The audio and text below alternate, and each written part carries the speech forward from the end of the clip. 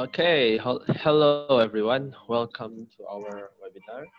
Uh, before we begin, I would like to say that this webinar is presented by Permit Shanghai in collaboration with SIP and is supported by uh, PPE Beijing, Changchun, Changsha, Changzhou, Chengdu, Chongqing, Guangzhou, Guilin, Hangzhou, Hefei, Nanchang, Nanjing, Nanning, Ningbo, 上海、沈阳、深圳、石家庄、苏州、天津、武汉、无锡、厦门 and Yangzhou. Alright, I will go through briefly our rundown and rules for today. Our opening speech will be from Permit Shanghai and from uh, SIP, and we will have our three guest speakers. And for our Q&A session, we will uh, have around 30 to 40 minutes. And next will be our photo session. Please remember to keep your mics muted at all times unless you are permitted to unmute. All right, enjoy. So today, our topic is about China after university. So have you ever all considered about working or make a living in China after graduating from university? Well, I bet this idea must have crossed your mind some point during our university lives. But you never know what to do or what you should do or even what can you do. Lucky for you today, we have three amazing speakers that is willing to share with us what working in China is like after graduating university. Or as I like to put it, how is this a lifetime opportunity? All right, next slide. First of all, my name is Geraldi, and I will be your moderator for today. Now, without further ado, let's welcome Meta, President of Permit Shanghai. Halo, halo semuanya. Uh, selamat datang di acara kita pada hari ini. Perkenalkan, aku Meta Edwilian, uh, selaku Ketua Permit Shanghai periode 2020-2021. Uh, pertama-tama, aku mau mengucapkan selamat sore dan terima kasih kepada Ko Emmanuel, Ko Andreas, dan Ci Anastasia yang telah meluangkan waktunya pada hari ini untuk menjadi speaker kita. Selain itu, aku juga mau ngucapin selamat sore pada tim dari Permit Shanghai dan juga pastinya pada kalian semua yang telah bergabung dan hadir. Acara webinar ini diselenggarakan oleh Permit Shanghai dan SIP dengan tujuan untuk memberikan informasi dan wawasan ke kalian mengenai apa aja sih opportunity-opportunity yang ada setelah lulus kuliah di China. Apakah sebaiknya harus balik ke Indonesia ataukah mungkin bisa mendapatkan kerja di China? Nah, sebelum itu nih, Eh, aku mau memperkenalkan sedikit mengenai Permit Shanghai buat kalian yang belum tahu. Next slide, please. Permit Shanghai adalah Perhimpunan Mahasiswa Indonesia di Shanghai, dan kita adalah wadah bagi para pelajar Indonesia untuk mengembangkan bakat dan minat mereka. Kita sendiri juga merupakan um, keluarga kedua ya bagi para pelajar Indonesia yang di Shanghai. Next, um, selama di Shanghai kita memiliki berbagai macam event guys. Ini adalah contoh beberapa event offline kita. Misalnya seperti charity, berdonasi bersama atau mengunjungi panti asuhan bersama. Lalu Cultural Week, di mana kita menampilkan kebudayaan Indonesia ke masyarakat lokal dan masyarakat luar di Shanghai. Lalu kita juga ada acara jejak petualang, acara penyambutan mahasiswa baru yang baru sampai, dan juga Permit Cup. Permit Cup ini adalah ajang olahraga internasional bagi semua orang yang berminat boleh join. Gitu. Selain acara-acara offline ini, kita juga ada beberapa acara online, guys. Ya, seperti misalnya webinar pada hari ini, lalu webinar-webinar di bulan-bulan lalu. Kita juga sering mengadakan live Instagram um, workshop maupun weekly-weekly info yang kalian bisa definitely check out di uh, website kita, di Instagram kita maupun di WeChat official account kita. Ya, sedikit itu tentang Permit Shanghai. Um, daripada berlama-lama, saya kembalikan lagi ke moderator. Kita bisa mulai acara acaranya. Makasih. Alright, uh, thank you Meta for such a wonderful opening speech. Next, we would like to welcome the representative from our partner, SIP. He's an Indonesian entrepreneur in Shanghai. Let's welcome William Huang. Thank you, Geraldi, and thanks, Meta, for you know doing such an awesome introduction. Uh, selamat sore dan selamat datang adik-adik mahasiswa dan mahasiswa sekalian di mana pun kalian berada. Nama saya William Huang dan saya adalah salah satu co-founder IP, Shanghai Indonesian yang singkatnya bisa dipanggil SIP, SIP, or SIP. Jadi SIP ini didirikan pada bulan Agustus 2020. Shanghai Indonesian Professionals itu adalah sebuah growing inisiatif yang bertujuan untuk memberikan sebuah platform interaktif bagi Shanghai-based professional dan entrepreneurs yang berasal dari dan punya koneksi dengan Indonesia. Membership shift kali ini kebanyakan berasal dari kalangan profesional muda yang penuh motivasi, exposure mendunia, dan tentunya aspirasi untuk menjadi leaders di masa yang akan datang. SIP ini, saya dan co-founder saya, Emmanuel Din, mendirikannya untuk bermaksud mendorong fresh thinking and innovation to the next generation of decision makers. Kita berdua merasa karena dunia saat ini berubah dengan cepat. Dan SIP di sini untuk untuk membantu teman-teman profesional muda Indonesia untuk mendapatkan sukses di China. Kali ini kita bekerja sama dengan Permit Shanghai. Jadi SIP ini berharap agar tujuan dari panel speaking ini untuk membuka dan memberikan insights bagi adik-adik mahasiswa dan mahasiswi sekalian bahwa di Shanghai atau di kota lainnya di China itu banyak kesempatan. Kesempatan untuk bekerja atau berbisnis atau membangun sebuah kehidupan yang tentunya menarik ke depannya setelah kalian lulus kuliah. Jadi beberapa pembicara yang sudah apa kita line up sore ini ya akan berbagi pengalaman mereka dan memberikan insight kepada kalian bagaimana agar bisa melangkah ke depan dan berpartisipasi, berkontribusi di ekonomi terbesar dunia saat ini. Semoga adik-adik mahasiswa dan mahasiswa sekalian bisa mendapatkan poin pembelajaran melalui panel speaking ini. Sebelumnya, terima kasih lagi kepada uh, Permit, uh, Meta, dan Geraldi ber, ber, excuse me guys, beserta tim-tim kalian. So, sebelumnya, stay healthy, stay positive. Saya mengucapkan selamat sukses bagi adik-adik sekalian. Salam Sang Pak. Terima kasih. Wow, thank you so much, William, for such an inspiring opening remark. Now, for the main event, please reminded, be reminded to type in all your questions in the chat box, and we will try to answer all your questions during the Q&A session.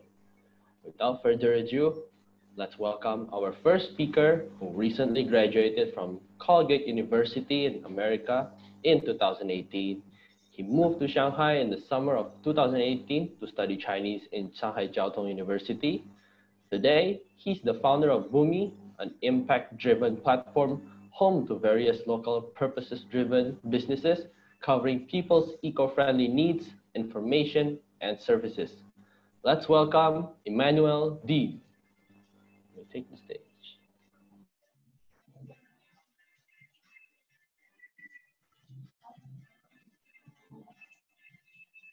Okay, thank you so much, Geraldi. Hi, everyone. My name is Emmanuel. It's an honor to be here. I'm going to use mainly English, but don't worry, I'm going to speak very slowly and very clearly. So I hope that um, we can share a lot of things with you guys. Um, so I'm Emmanuel. I'm from Indonesia. I grew up in Surabaya. So any of you guys from Surabaya, say like hi or something on the chat so I know how many of you guys are from Surabaya. Nobody? No? Hey, look at that.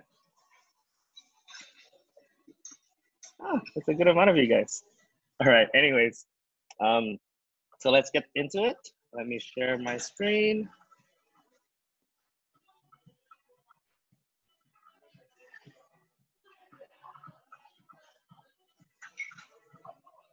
All right, so today I'm going to share with you guys my China experience. Again, my name is Emmanuel. I'm from Indonesia, and I am the founder of Boomi. Boomi is a zero waste e-commerce platform home to around 38 plus local purpose-driven businesses covering people's zero waste needs, information, and services. And as you guys may expect, the word Bumi comes from the Indonesian word Bumi, B-U-M-I, which means earth. So that's where the name came from. Uh, we are a sustainability business but before I started this business, I was not known as the most sustainable person in the world. I went to college in Colgate University, which is in upstate New York, around five hours or so away from New York City. When I was in college, I was so persistent in drinking only bottled water. In the US, we always have great tap water, but I think that it's much better to have a cold, nice glass of water because I'm from Indonesia and I like everything with ice. So this kind of lifestyle persisted for a very, very long time. I always wasted a lot of water. I always drank a lot of juices and things like that in plastic cups. But then in 2016, I had an opportunity to go to Shanghai. I went to Donghua Daxue for a study away program with my university. And it was this time when I fell in love. I fell in love with the city. I didn't know what it was. The city the vibe, the speed, the colors, the skyline, everything was just perfect. And from that moment on, I was so fixated on just coming back to Shanghai no matter what. So when I went back to college, I completed my degree. I studied economics and Chinese. And in 2018, I decided to go to Shanghai. But before going to Shanghai, I took a little visit to Vancouver. This is where my sister lives. Her name is Graciela. She goes to UBC in Vancouver, and I just gave her a little visit, uh, also to visit my family there as well. And when I was there, one night I was just brushing my teeth with my regular plastic toothbrush, and my sister came up to me from the back and asked me, Why are you still using a plastic toothbrush? That question really awakened my mind. And I think that was the single sole question that inspired me to start this business, Boomy. But at that time, I didn't know of it. I didn't know it was actually going to become like this. I just kind of forgot about it. So, in around 2018, I arrived in Shanghai in September 2018. I applied to Jiao University as a language student. And at this time, I wanted a bamboo toothbrush. So I went on Taobao, tried to look for all the different type of bamboo, uh, bamboo toothbrushes, and there were many of them. But when the item arrived, surprisingly, they were wrapped in plastic, with bubble wrap with a plastic bag inside a box with lots of tape inside another plastic bag. So I thought to myself, that didn't make any sense. So I decided to make one for myself. But of course, the business was still very small. I didn't really know what I was doing. So essentially, I really need to find a job. And that's when I started networking. I started interviewing with different companies to find a job. And I did find a job at Red Pulse. Red Pulse is a cryptocurrency company. They are a financial research platform where people can share their insights on the Chinese market and they get paid with cryptocurrency like Bitcoin. So I was here for around four, maybe eight, four to six months or so. And I was working in this company, but then I ran into the trouble of how do I stay in China? Since I just graduated, freshly graduated from Colgate University, I did not have the two years of experience, just as many of you guys will also experience when you graduate. So I tried to find different ways on how to solve this. And what I found out was that if you're a foreigner, you can actually open a business in China with no investment. And how this works is that if you open a business, that business can hire you, and the company that you're working for can hire that business. So your wage would be sent from the business to your business and then to you. So I thought, great, let's do that. So this is the bamboo toothbrush that we made, and I went with it. I opened the company, I registered the company in Shanghai, and things just started rolling.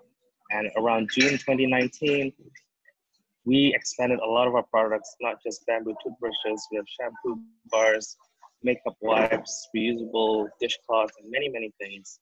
And, and around June 2019, I decided that I want to leap into this opportunity. And I quit my job. And since June 2019, I've been working full time with Boomy. We currently have around eight people in the team, and we're having a lot and a lot of fun, and we're learning every single day. But of course, people ask me, why did you choose China? A lot of my friends in college, they all stayed in New York or went to LA, or maybe they went to Europe or, or went back home to Indonesia. So why did I go to China? And it was actually my dad who convinced me in 2016 to come to China. And I'm really grateful that he did convince me to come here because it really opened my mind. A recent statistic showed that before COVID, China was expected to overtake the US by 2032. In, by 2032, I will be around my mid 30s. So I will be at my peak of my professional life that already convinced me enough that I wanted to be in the biggest economy, the leading economy when I am at my best. That was number one why I came to China. But I went back again a couple of days ago to look at the statistic, and the IMF actually reported that because of coronavirus, China is expected to overtake the US by 2025. That is literally a seven year expedition. So in five years, China will be the biggest economy. In five years, I won't even reach 20, uh, 30 years old, as well as you guys. In five years, most of you guys just graduated. most of you guys would be maybe have one or two years of work experience. And I believe what is the what other place is better than the biggest economy in the world? Some may say, how about Singapore? How about Australia, Canada? So I, I found this data also from the IMF. This is the real GDP growth of Q1 2020. And as you can see, so many countries are at the brink of recession, including Indonesia, the US, definitely, Canada, the UK, Australia, everyone is in the red. And you can see right there, China is still in the orange, around a 0, 0% to 2.5% real GDP growth. This was enough for, to convince me that I should stay in China. But again, I had no plans whatsoever when I came to China. All I knew was I wanted to be in China. So that's the first point, the potential. I believe the potential in China is immense. There are so many things you can do here, so many people you can meet. My Chinese is not 100% perfect, and I'm still okay here. And it's also a lot of fun, and you meet a lot of like-minded people. The second thing I looked into was the consumers. How are the Chinese people like? Because if you're in China, you better be marketing to Chinese people even if you get 1% of the Chinese population, that's already 130 million people. And I picked up some of this data that William actually shared with me.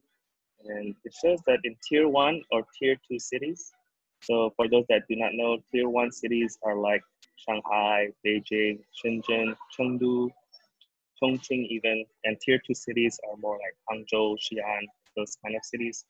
There's a growing population of high spending individuals. They account for nearly 31% of the national population. They spend 1.4 trillion US dollar per year, and they're they are more willing to spend than their previous generations, and they're also more interested in like global brands. So more and more people are getting more and more money, and when you have more and more money, there will be more and more problems. And I think there's a lot of opportunities for us to maybe solve those problems. The second group of people that I looked into was Generation Z. I'm at the edge of Generation Z to millennials.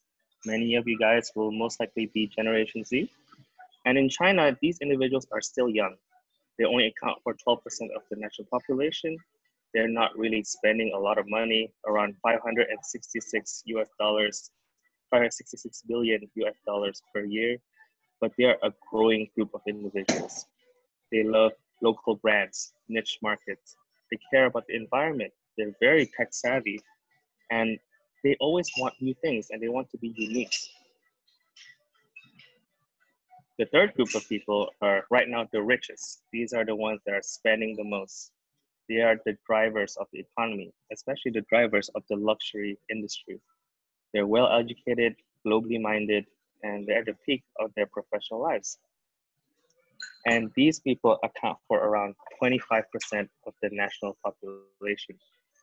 And these people are like me, William. Many of the speakers today are also millennials, and we love to spend. We love to go out, we love to eat, we love to drink. Shanghai has really good food, as you guys all may remember. And we are willing to spend, spend, spend, spend. So that's the second thing that I want you guys to think about. Businesses strive, businesses thrive on opportunities. And I think there's no better place than China right now. There are so many opportunities here that you can do, whether it is to start your own business, work here, or maybe even um, continue your education. But again, I'm not telling you to stay in China forever. I'm not trying to stay in China forever. What I'm trying to do in China is to learn. Learning does not stop once you get your diploma. Many of you guys go so far to China to study Chinese, to study in better universities. And what's the point if you just go back home right away?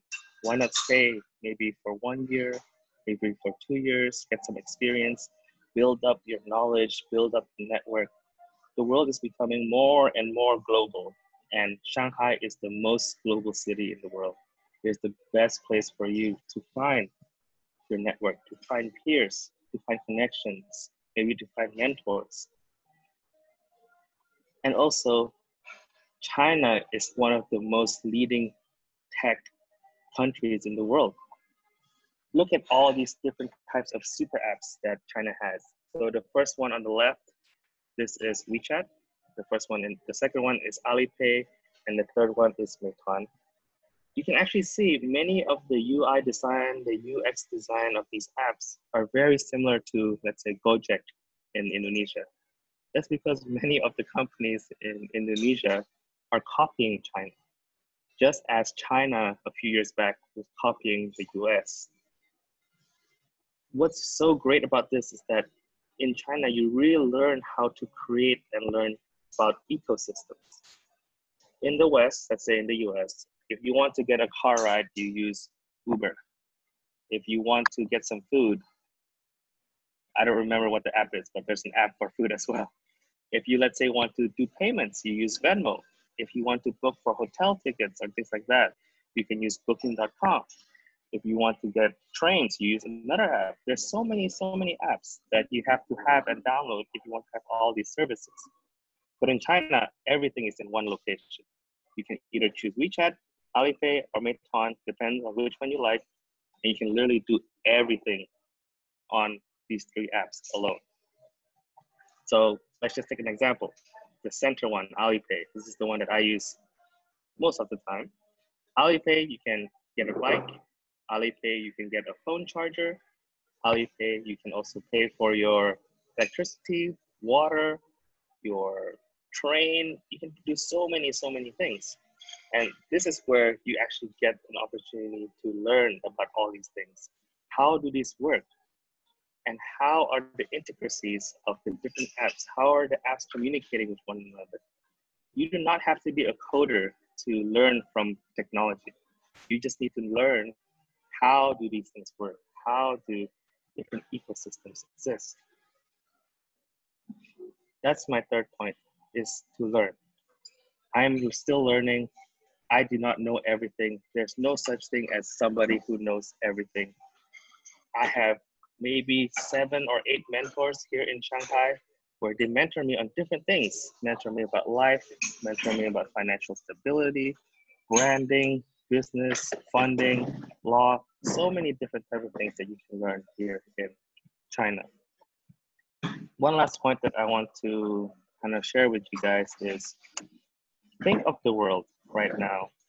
Around 20 or so years, the US was the leading economy and China was following the US or it's chasing the US. And in actuality, by 2035, Indonesia will be the seventh largest economy in the world. What's a better place to come to China and copy all the different things you can actually find here in China and bring it back to Indonesia? So it's kind of like a train, you know? So US is at the front, China is kind of following, and I hope Indonesia is following at the back, trying to catch up with China. So that's my plan. That's why I'm here in China. I am not forcing or encouraging you guys to move your entire life into China. No, I'm asking for you guys to consider why not stay in China for a little bit, learn, get experience, and bring all those great ideas back to back to Indonesia. Because after all, I'm from Indonesia, you're from Indonesia, and I love my country, and I would love to go back one day and make Indonesia a great economy, hopefully in a couple of years. Thank you so much. Give it back to you, Geraldine. Wow. Thank you so much, Emmanuel Dean, for sharing with us your experience about your startup company and about your life after China University. Okay, now our next speaker, he has a Bachelor of Arts in Applied English or Linguistics and also seven years of living experience in China now working as a research analyst and a business consultant, while also hosting Love Life Millennials podcast on the side. Let's welcome Andreas Rentimun. Hi. Hello, everybody. It's good to be here. Can you guys see me now? Okay, sure. Okay, sure.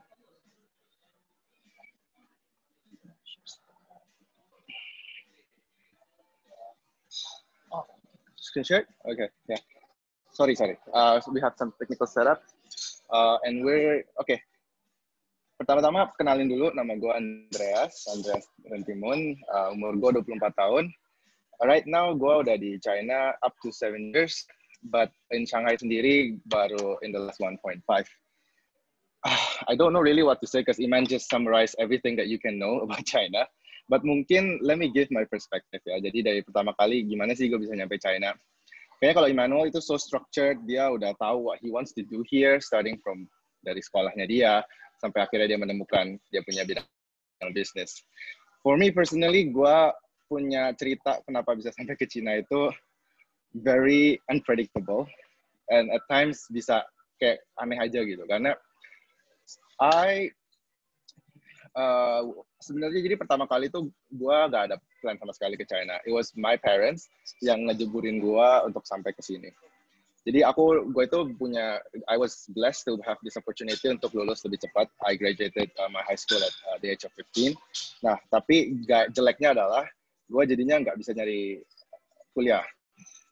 Waktu itu udah cari-cari ke edufair semua, mereka minimum cuma bisa accept people from 16 years old above. Makanya my parents waktu itu mikir, daripada gue kerjanya main game doang, mereka pikir, oke, okay, you better learn some Chinese, karena it will be beneficial for you. Yang lucunya, di hari H itu, gue itu jadi for some reason ngambek gitu. Jadi kita lagi di rumah. I did not do anything. Terus mereka pergi nih satu keluarga with my sisters ke sebuah language institution. Tiba-tiba pas mereka balik, they just like literally told me, okay, we are sending you over to China in the next three months. Uh, I will say, I'm sending you with your elder sister, so you better get prepared. Yang di mana gue obviously very surprised gitu. Bear in mind, at this time gue tuh belum pernah keluar negeri sama sekali. I go paling kayaknya keluar negeri baru sekali ke Singapore, which is very close, right? Masih deket banget sama Indo. Tiba-tiba suruh ke China yang 6 jam itu, wah, gue langsung cukup keder juga gitu. Terutama dulu waktu gue kecil, gue pernah les bahasa Mandarin selama 2 tahun, but it didn't work out. I just hated the class so bad. Tapi ya namanya udah dibayar, down payment ya mau gimana ya. Jadi kan nggak mungkin kita buang-buang duit orang tua. So let's say, okay, let's do it. I just did like bener-bener super crash course gitu on the Chinese language. Um, can you turn the slide on? Yeah. So I, as I said, I was like playing video games and I only have three months sebelum gue fly to Nanjing. Okay, jadi kota pertama yang gue datang di China itu adalah Nanjing. Belum apa-apa nih, baru nyampe ke China, hari pertama gue udah hilang paspor. jadi it did not start at the right foot. Orang tua gue mungkin yang di rumahnya udah cincang apa udah worried makin worried kan namanya masih umur 16 tahun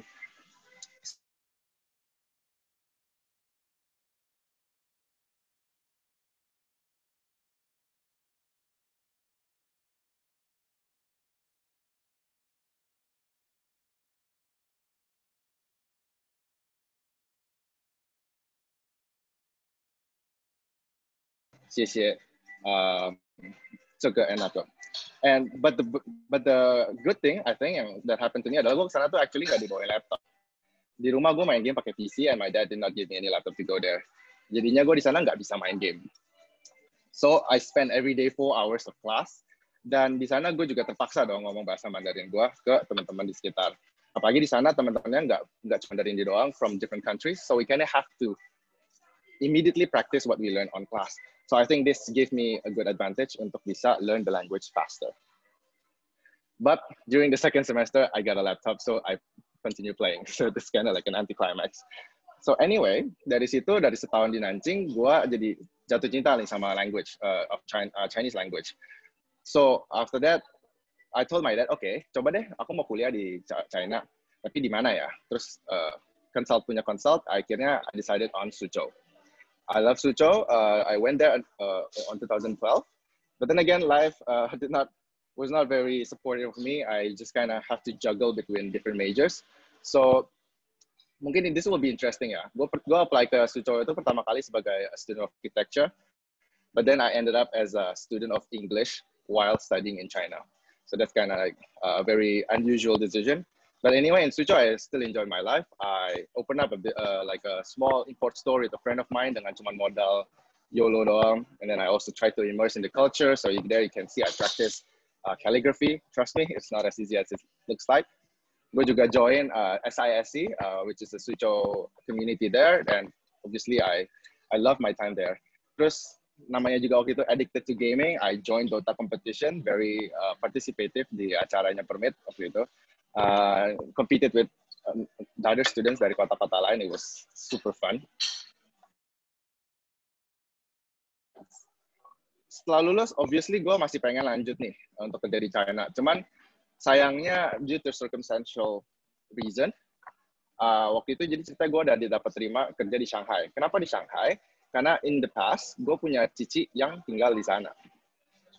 Waktu itu, I've been there to visit her a couple of times. Terus, yeah, I just feel like the city would be another good destination setelah Suzhou, setelah Nanjing, Suzhou, dan next is Shanghai.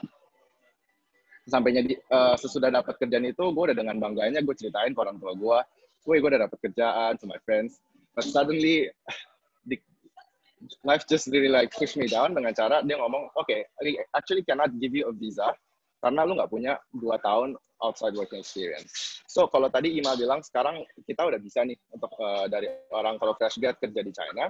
At the time around 2016 it was not the case karena the government uh, was trying to promote local labor instead of foreign labor. Karena bagi mereka ya mungkin fresh graduates orang uh, luar juga belum ada added value-nya gitu. So ya karena situasinya seperti itu, gue terpaksa harus pulang balik lagi dong ke Indonesia. Di Indonesia gue kerja uh, selama dua tahun dan mungkin memang udah takdirnya ya, pas banget sekitar dua tahun itu gue tiba-tiba ditelepon lagi sama my senior dari kuliah yang ternyata kerja juga di Shanghai. Dia ngomong, gue inget nih dulu lu sangat um, tertarik untuk kerja di Shanghai. Mau nggak coba apply untuk supaya kita, uh, ya cobalah apply gitu. Karena kita kebetulan butuh labor dari orang Indonesia. Kita punya departemen itu uh, mengurus Southeast Asia jadinya kebetulan banget nih it's just the perfect opportunity ya udah because I naturally gue memang sangat tertarik untuk kerja di Shanghai uh, di China I applied dan luckily I was accepted nah dari situ tentu ada proses-prosesnya ya ada misalnya ngurus uh, SKCK, terus ada juga ke Kementerian uh, Luar Negeri untuk get all the stamps, the necessary documentation. I think it took me around three months untuk gue bisa work on my uh, visa. So I remember I got accepted. I got a condition, uh, an unconditional offer dari perusahaan sekitar Desember. Lalu Maret 15 itu gue berangkat ke China. Mana nah, di China itu? di sana. Oh, ya, yeah. so di, uh, begitu sampai di China, ya yeah, it's just like it's it's indescribable feeling sih. Maksudnya kayaknya gue ke sana jadi seperti mengidolakan China, but I, I just really uh, like the country so much lah karena gue uh, selalu put emphasis on myself.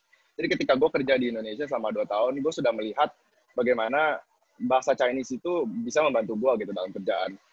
I feel like the fact that you can speak some Chinese mungkin gak harus perfect, just give you that much credibility over the potential candidates. Bahkan kadang-kadang kayak over credibility gitu. So with that in mind, gue memang udah bilang ke my parents kayak gue mau kerja lagi di Shanghai karena gue masih mau to take my Chinese into another level gitu. I want to be able to speak in a fluent manner in a business context. Dan kalau buat gue itu that's my objective untuk kenapa gue bisa sampai di Shanghai. So in 2019 March I went to Shanghai and and yeah since then I have just been here like for the last 1.5 years. Life in Shanghai was so different than Suzhou. Gue literally ngomong ketika gue tahu di Shanghai itu living cost itu bisa up to three times or four times higher. Yang lucunya tuh gue dulu sempat mikir gitu kan, ya paling uh, gue sebulan tuh cuma bisa spend segini doang gitu kan. Jadi misalnya waktu gue di Suzhou itu gue satu bulan, kamar itu ya paling sekitar seribuan RMB. Makanya waktu ke Shanghai pas pertama kali nyampe nyari rumah, gue ngomong ke agen gitu kan. gue mau cari rumah dengan harga segini nih terus agennya like literally laugh at me uh, di depan muka gue gitu. Gue lu mau nyari rumah dengan harga 1.500 atau 2.000 at that time I thought you know 2.000 was like good enough right? It's, I, gue waktu itu malah bilang gue mau cari studio dong ada nggak dengan harga dua setengah atau 3.000 it's yeah it's, it's just absurd gitu dengan the, the fact that property prices in here are incredibly high. It's um, maybe because also there are just too many people here. But that's one of the first adaptation yang gue harus bisa dapat gitu. Maksud yang I have to face begitu sampai di sini. Living cost juga di sini, food are generally more expensive. Tapi yang kayaknya nah, yang membuat gue agak jadi prihatin sekarang ini, kalau tadi kan Iman cerita ya banyak banget super app di sini, and the fact that di sini tuh ada Alipay yang just ease up the payment so so easily, like you can pay anything at the at the tip of your finger. That scares me karena gue pada dasarnya adalah orang yang impulsif. Jadi dengan apa apa tinggal pakai sidik jari pay pay pay pay and what Iman say that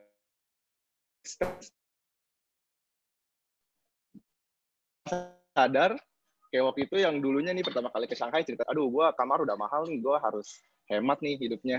Eh tiba-tiba makin lama loh kok pengeluaran gue makin lama makin gede. It multiplies gitu. At the, at the time ya waktu itu gue sampai at one time gue sampai bilang wah gila ini gue harus stop sih. I, I try I need to start controlling my spending. Ya, tapi in all in all, makanya it's just uh, easy for you. Uh, it's just important for you. Mungkin kalau yang tinggal di Shanghai atau Beijing atau kota-kota besar in general living costnya lebih mahal, try to limit your spending. Maybe that's that for like life tips. Nah, um, so now what do I do Shanghai? Okay. Tadi mungkin I said that I am a research analyst, juga gue business consultant. What is it gitu? Itu kan kayaknya abstrak banget. To put it really simply, gua bantu jawab pertanyaan apa pun yang lu punya dengan cara gua Google, I make a report and I submit it to you. Sounds easy, it does. Tapi in reality, you need to curate it, right? Karena now we live in a time di mana informasi itu banyak banget. So that is why there is me, someone who tries to customize the data then give it to you. So that's what I do. Tapi mungkin karena gue memang orangnya pecicilan juga ya. Jadi setelah gue lulus, uh, sorry, setelah gue selesai kerja, I still have a lot of spare time that's what I do. Uh, I make I make a podcast. Emma says you meet just so many different kinds of people di Shanghai, and that's what I'm trying to achieve in my podcast. Dimana gue mau coba document orang-orang yang gue ketemu along the way untuk gue bisa extract value from them gitu. Uh, now I have done the podcast for more than one year. I try to publish it once a week. If you guys have some time, you might want to try to listen. Tapi kalau uh, it's not to your taste, totally fine. It's available in multiple platforms. There's Apple Podcast, Spotify, Google Podcast, and all those stuff. Uh, so, yeah, i I'm I'm looking forward kalau memang ada pertanyaan yang sejauh gimana gue bisa bantu. Kalau mengenai kehidupan di Shanghai, probably Iman is also uh, can also provide you with the information mengenai kerjaan, mengenai business. But for me, I am more of a professional. I uh, work but at the same time, I also do this podcasting just to expand my network to just learn more from the people. I think that's about it. Okay. Wow, thank you so much, um, Andreas, for telling us your fruitful and beautiful journey in China. Oh yeah, guys, uh, don't forget, if you have any questions, please feel free to type in the chat box and we will uh, compile it and, and answer it during the Q&A session. Now, we would like to welcome a graduate from the prestigious Shanghai Conservatory Music with a bachelor's degree in music education on full Chinese government scholarship. She is currently the CEO of Shanghai Tenuto Business Consulting. She has been living in China for 10 years and accumulated plenty of experience, especially in the areas of cross-border businesses inclusive of tourism, international trade, and e-commerce. Having worked closely with the Indonesian government on several China market-focused projects, she is well versed in the arts of doing businesses with both Indonesian and Chinese governments. Let's welcome Anastasia Kosasi. The stage is yours. Halo, halo semuanya. Ya, Nama saya Anastasia. aku perkenalkan diri dulu. Jadi saya lulusan Shanghai Conservatory of Music, di mana itu sekolah musik dan uh, barengan sama orang Chinese. Jadi uh, di kelas saya kebetulan itu semua orang Chinese, gak ada Liu Shusheng atau international student yang barengan sama saya untuk uh, graduation. Oke. Hmm. Jadi saya datang ke Shanghai, ke Shanghai itu dari tahun 2010. Nah, pas datang itu sebenarnya uh, uh, foreigner yang di sekolah kita masih sedikit, masih sedikit banget.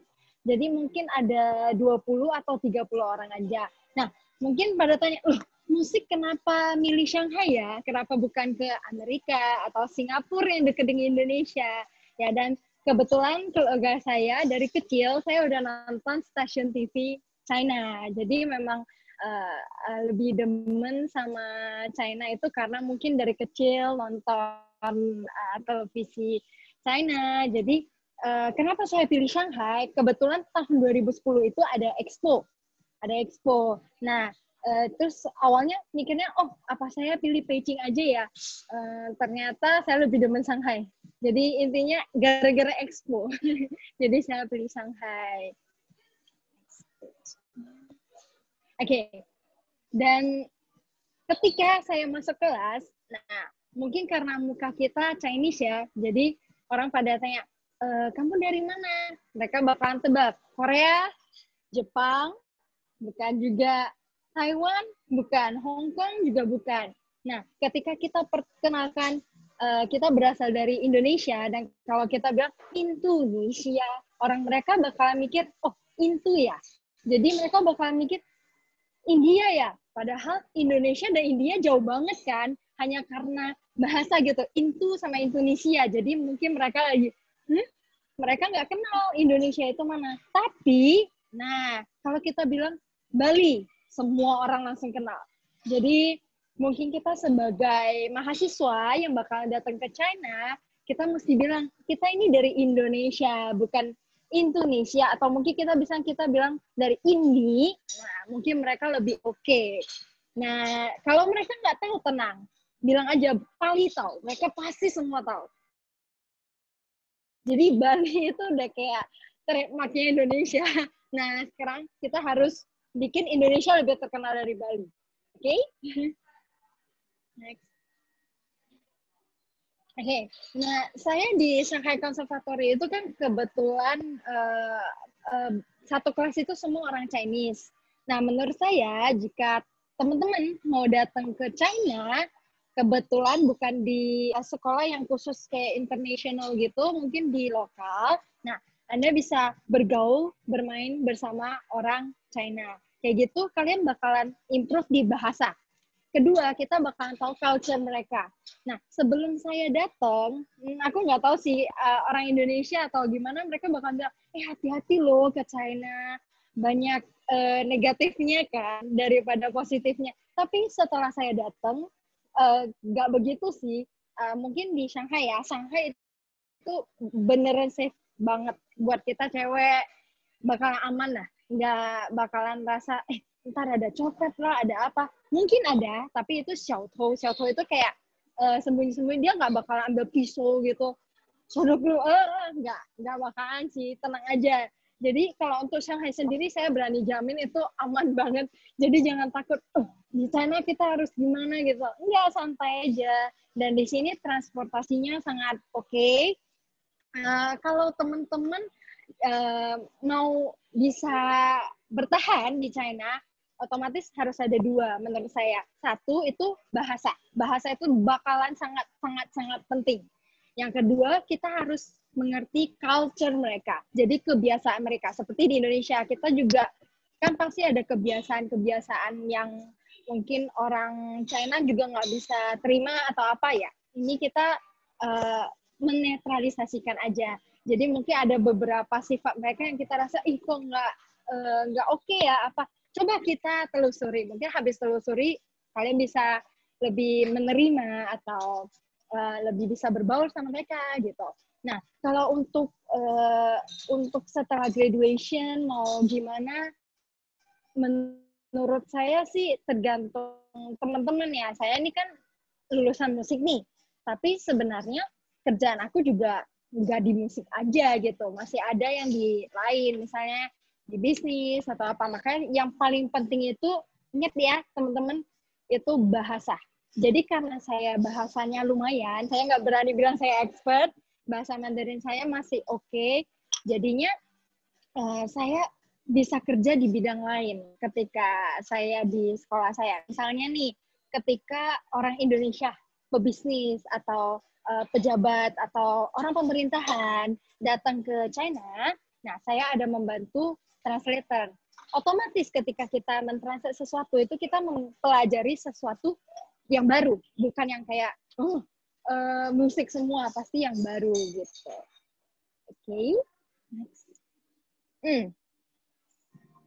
Nah, setelah saya graduation, saya graduationnya itu tahun 2016.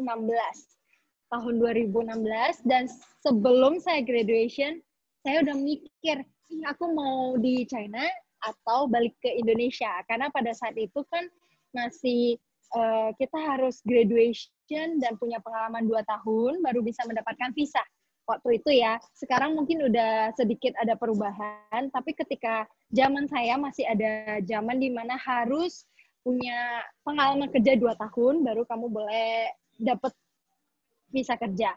Nah, tapi saya pengennya bisa tetap stay di sini. Makanya saya mencoba membuat PT uh, eh, perusahaan kecil Nah, ketika kamu membuat perusahaan kecil, mereka akan memberikan kesempatan dan kasih kamu kesempatan untuk bisa apply visa kerja.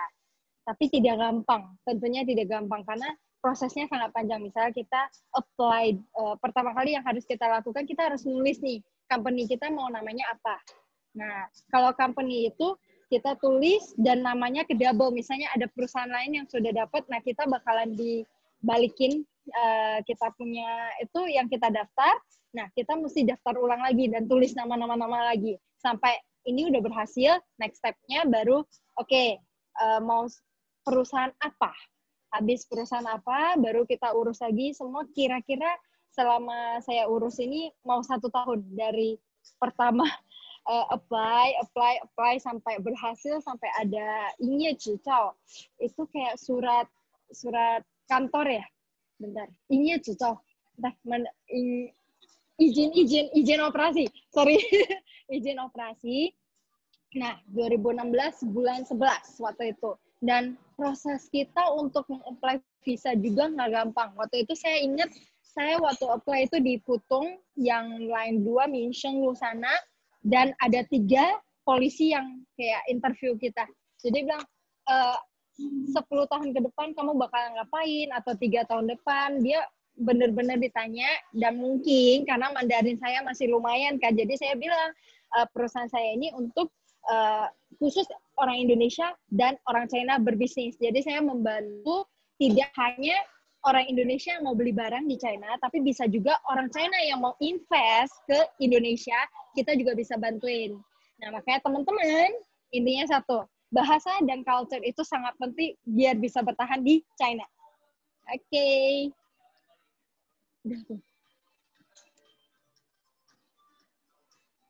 Ada kalau misalnya next ada pertanyaan, mungkin uh, teman-teman bisa tanya. Gabung kah kita? Okay. Uh, thank you, Anastasia Rosasi, for sharing on why China is a good opportunity for graduates to continue their journey on. Okay, now let's move on to the next segment, during which uh, the sharing session, I noticed that some of you have typed down a bunch of questions. Our speakers here will try their best to answer all of them as we only have a limited number of time. So speakers, unless it is specified towards a certain speaker, all of you are free to answer the question. Okay, now let's okay. look at the chat session. Okay, the first question is from a guy named Timothy. He said, apa kelebihan atau advantage dan kekurangan jika kita bekerja di Shanghai atau China ataupun di Indonesia? So. Yeah. So, siapa yang mau jawab? Siapa yang mau jawab? Oke, okay, I can start lah. Ya pasti ada plus okay. minusnya semua lah. Um, there's always plus minus for everything. Um, but I think it's experience. Um, I think China potential in China technology is dia dia jago banget lah. And I just saw a video beberapa hari yang lalu, kalau nggak salah di pagi, sekarang di Cina kalau ada bangunan-bangunan yang lama, they and they want to like break it down, they actually don't break it down anymore. They put like legs at the bottom. Jadi building-building ini bisa jalan, like literally bisa jalan. And I'm just like, oh my god, like where else in the world you can find building yang bisa jalan? You can Google it. Um, kalau nggak salah dari South China Morning Post.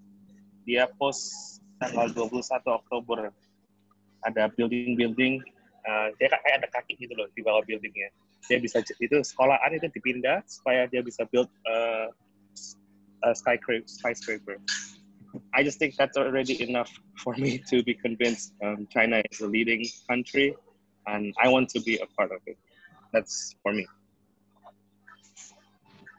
okay very interesting. Wow, a moving building.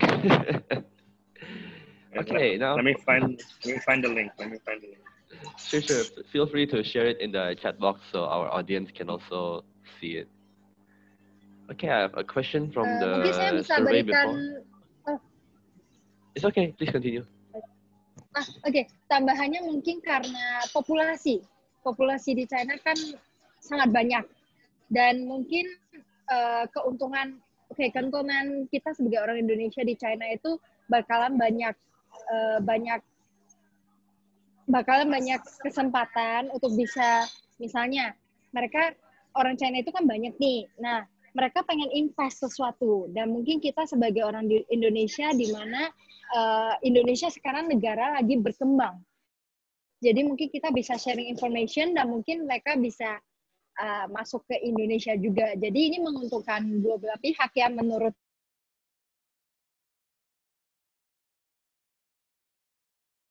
saya ya. Jadi kita sebut mungkin ada dana tapi nggak tahu mau ngapain gitu. Jadi kita eh, kabari mereka dan mereka mungkin bisa saja invest. Jadi kemungkinan begitu kan uh, Indonesia sendiri kita membuka lapangan kerja baru bagi orang Indonesia.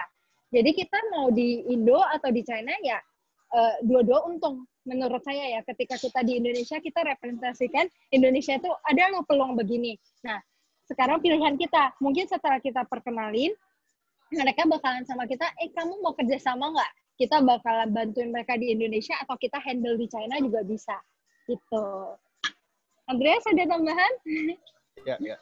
Uh, mungkin untuk memberikan data sedikit ya dari yang tadi uh, Anastasia ngomong gitu, gue setuju banget karena ada survei di tahun 2030 empat negara yang akan come up to the top. Nomor satu itu udah bukan US anymore, it's just gonna be China. Nomor dua India, ketiga US, and number four itu Indonesia actually. Jadi kita sebenarnya masuk nih dalam top five. Nah dari sini udah langsung kelihatan ada satu tren di mana bias orang negara-negara yang masuk top five itu biasanya adalah negara-negara yang dengan sumber daya manusia paling banyak. Dan tentunya di Indonesia sendiri kita tahu kita ada di masa di mana lapangan para pekerja baru nih yang uh, employees itu masih paling salah satu yang paling banyak di satu Asia Tenggara. So now what I can take dari China itu I enjoy the fact that di sini itu gue terbuka banget dengan segala macam kesempatan dan informasi. Dan enaknya juga di luar negeri itu sebenarnya it's your time to try gitu. Karena nobody cares, you don't have your close friends with you, lu cuma punya strangers. Lu mau salah ya udah gitu. Nah, jadinya di sini ada more room for you to explore and again to fail. But from these failures, you can learn a lot, right? Nah, ada juga satu hal lagi yang menurut gue sangat gampang untuk diambil adalah China itu kan in general relatively lebih develop daripada Indonesia. Tentunya di sini udah banyak banget aplikasi-aplikasi yang lebih canggih, aplikasi yang memudahkan hidup kita. Tadi seperti yang Eman juga udah pernah, eh, tadi udah introduce di awal-awal. Jadi sesimpel kita mengambil ide ini dan mencoba untuk mengimplementasikannya di Indonesia. Arbitrasi seperti ini tuh mudah sekali dilakukan, yang makanya kan gitu banyak potensi di sana dan di mana bisa ada pertumbuhan untuk didorong. Mungkin kalau kita kepik lihat nih banyak uh, Chinese businessmen lagi pada mikirin oh mau fintech atau mau something around that line. Um, so that's why I just uh, feel like China can bring you lots of information and lots of room untuk bisa innovate and explore yourself. Okay, very very interesting. Okay, now for the next question, can uh, we have been talking about starting a company in China, like So there's a question, how to choose the company you want to work for or how to start your own company in China? Like what kind of company? What kind of company ya? Mungkin I will start ya, karena kan gue profesional. I think that question itu it's always the million dollar question. Karena semua orang pengen menja menjadi mungkin employee dari Google atau mungkin employee dari any Silicon Valley tapi it all comes back to yourself sih. Jadi I would definitely emphasize on finding first what you want to do. And if you don't know what to do yet, then okay sure, then go ahead and try gitu. Misalnya di industri A atau di industri B, semakin kita tahu apa yang kita nggak suka, ya lo akan semakin tahu, lo akan semakin lebih punya chance untuk tahu apa yang lo suka gitu. So uh, what kind of industry ya mungkin kita harus juga very well updated dengan apa yang terjadi dengan saat ini. Oke, okay, tech is booming, tapi not everybody is suited to be uh, for tech gitu. Mungkin sebenarnya it all comes back to the traditional ones. Kita bisa coba consider agriculture.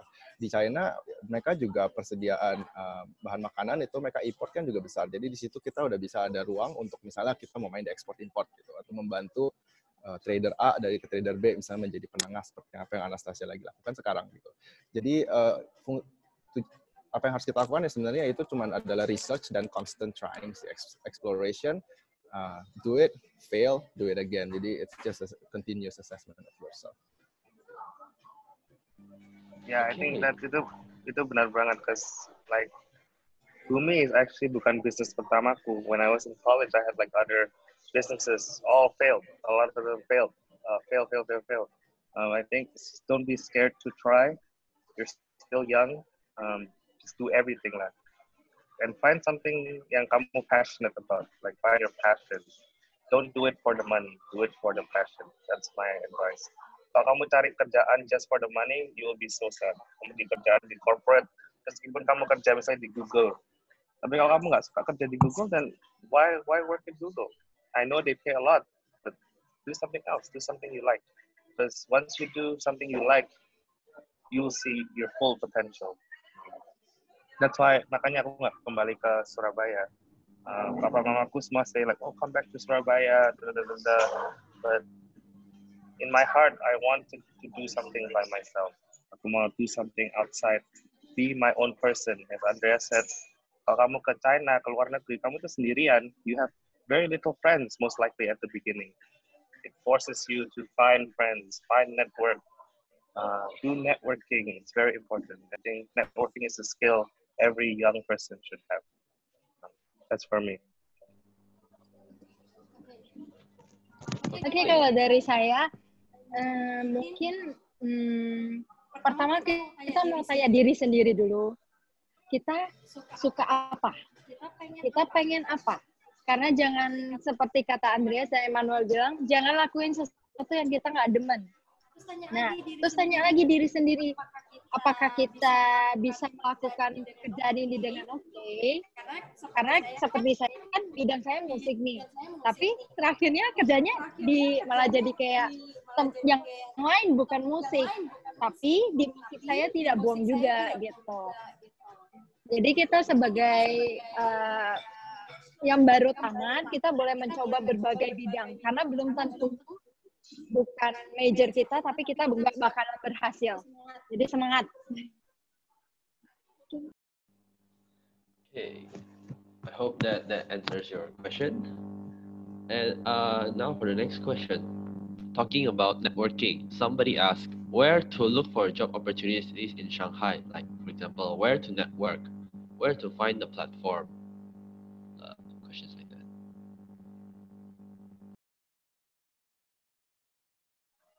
Okay. You want the fun answer or the not fun answer? There's two ways. the first one is don't stay at home all the time. Go go out. Go to a bar, meet people, go to events. The Shanghai, well, so many, so many events that you can do. Um, you can meet a lot of different types of people. Don't be scared to ask. Don't be scared to talk, and bullshit a little bit. I think that's a skill. It's Very important. Is you fake it till you make it. Waktu aku pertama kali networking, I already said, oh yeah, I have my own business here called Bumi, even though bisnisku belum mulai sama sekali. But it's a good way to get people to pay attention to you. And then you start building your connection with that person. So don't be scared. Uh, be confident. If one find lots of events, there's, banyak banget di di di Shanghai events. Because sekarang like COVID, nobody really, uh, it's not really a big problem anymore here. Uh, we can go out anywhere, so aman banget. And yeah, uh, be confident, keep asking, and practice a little bit of bullshitting. It will help you. Interesting, interesting. Yeah, uh, gue juga something like around that line sih. What I would say is know that people will always find it interesting, find you as a person interesting. When you network, you actually know what you can uh, tell them. You have your own story. Everybody always has their own story. Jadi uh, the simple way for you to be uh, to, to be connected to people ya sesimpel the traditional way banget sih word of mouth mungkin dari satu temen nih misalnya udah datang ke China lu bisa langsung kontak dulu kayak Ko William atau Emmanuel kan kita di sini yang mungkin udah lebih lama kita tahu nih ada grup-grup sosial mana yang mungkin lebih cocok ke field of interest yang kalian punya gitu. Misalnya kalian mau public speaking, cari Toastmaster di Shanghai. I have the contact gitu. Gue tinggal invite kalian ke grup. Di dalam grupnya itu sendiri ntar ada different subgroups gitu. Misalnya Toastmaster yang di daerah Qing'an atau di daerah mana, any part of Shanghai. Nah dari situ ya it's all on you. Begitu udah nyampe di acaranya, how do you present yourself? How do you package what you want to say to people?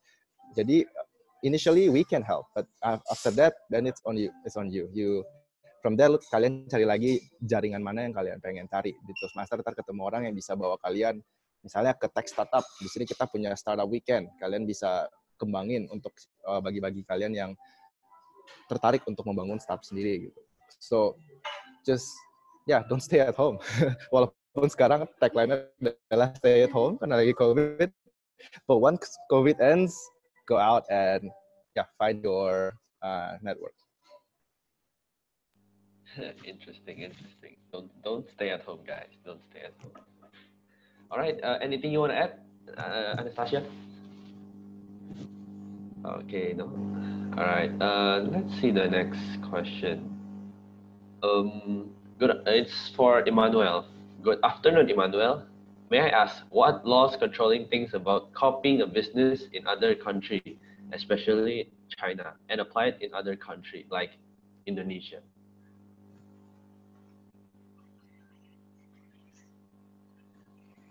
Sorry, had some technical difficulties.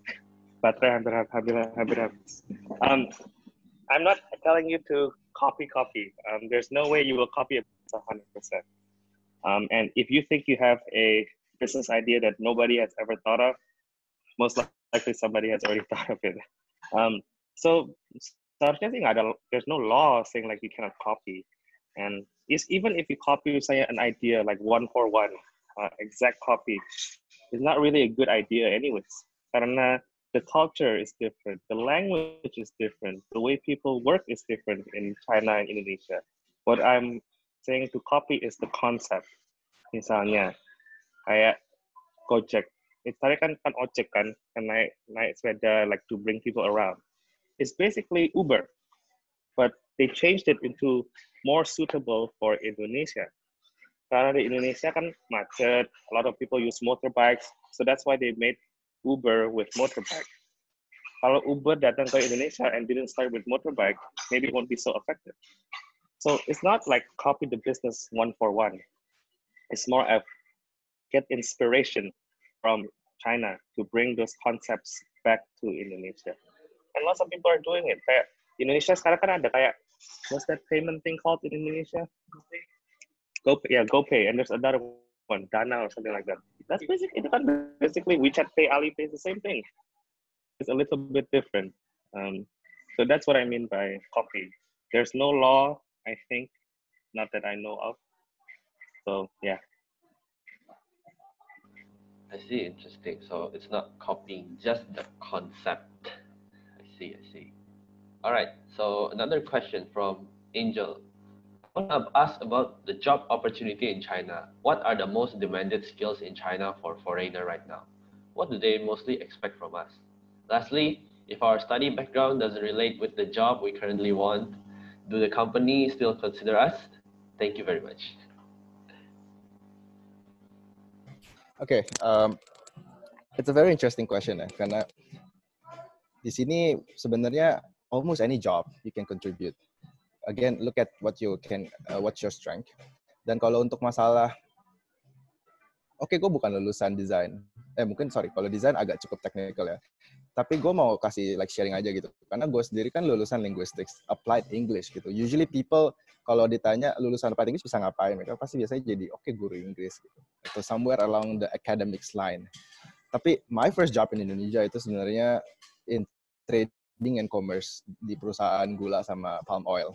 So you imagine 4 tahun, gue kerjanya tulis essays hampir setiap minggu, tiba-tiba masuk ke satu kerjaan, di hari pertama gue disuruh belajar tentang VLOOKUP, if, and all those formulas gitu. Those are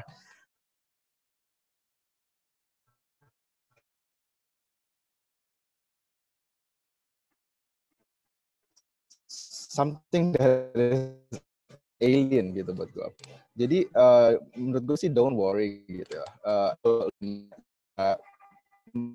memberikan lebih distribusi gitu kan. Kalau misalnya tadi lo mungkin misalnya dulu dulu punya portfolio membangun klien gitu. Klien yang dari cross industries itu tetap akan dinilai sebagai nilai yang plus gitu. Karena apa yang diekspektasikan dari foreigner di sini adalah somehow mereka put a, uh,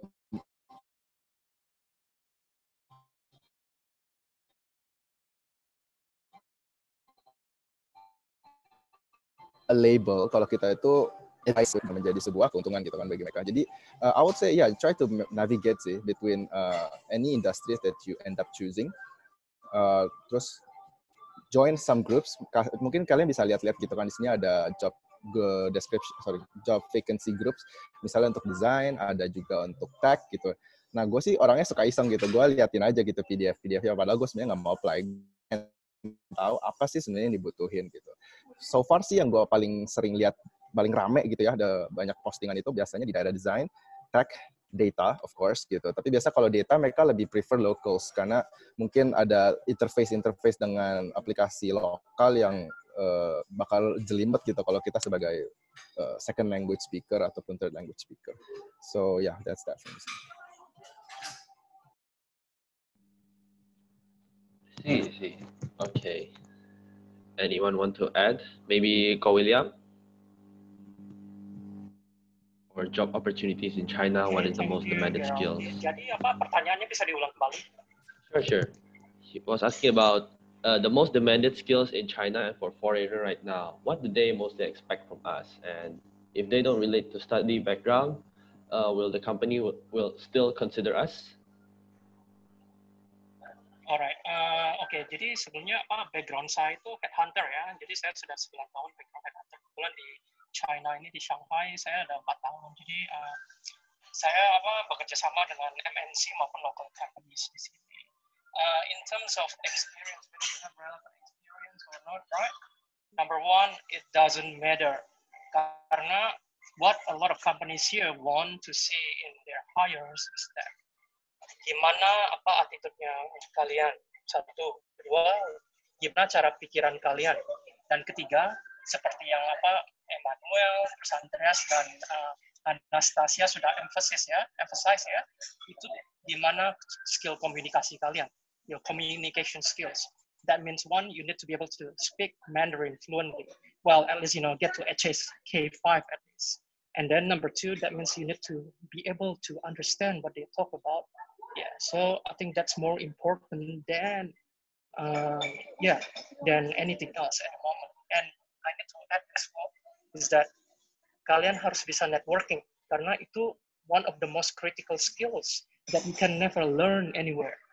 Jadi ber, berhubung kalian masih di universitas apa mungkin lagi di Indonesia ya that doesn't stop you from networking.